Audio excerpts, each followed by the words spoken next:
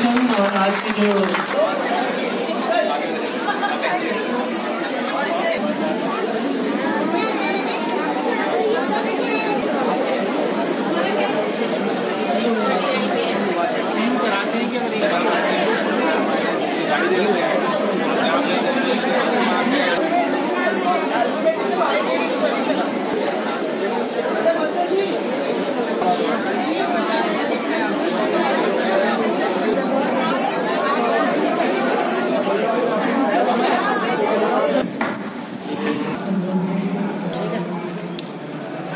हर साल की तरह 1996 से नोएडा डायबिटिक फोरम भारत विकास परिषद और एन के साथ मिलकर ये कैंप करता है।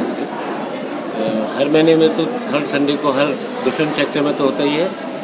नवंबर का महीना डायबिटिक मंथ माना जाता है, क्योंकि 14 नवंबर वर्ल्ड डायबिटिक डे है। उस पर ये एनुअल कैंप करते हैं, जिसमें हर स्पेशलिटी के डॉक्टर होते हैं।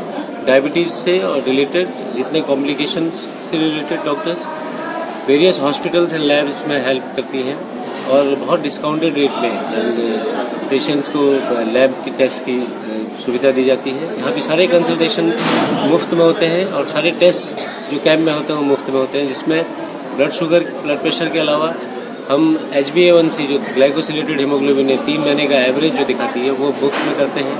E C G B M D P F T lipid profile uric acid ये सब यहाँ पे मुफ़्त में किया जाता है।